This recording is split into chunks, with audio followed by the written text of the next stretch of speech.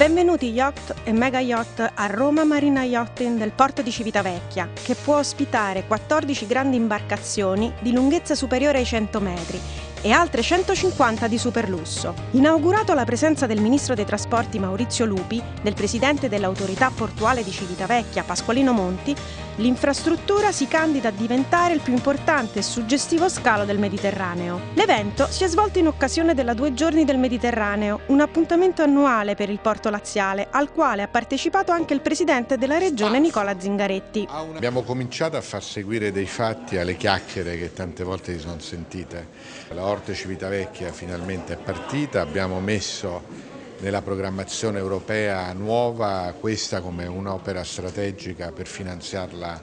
tutta, la nuova cabina del,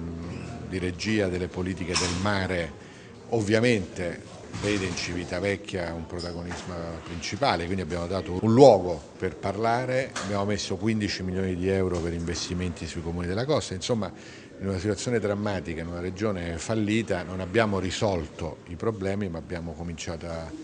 risolvere e a risalire la china.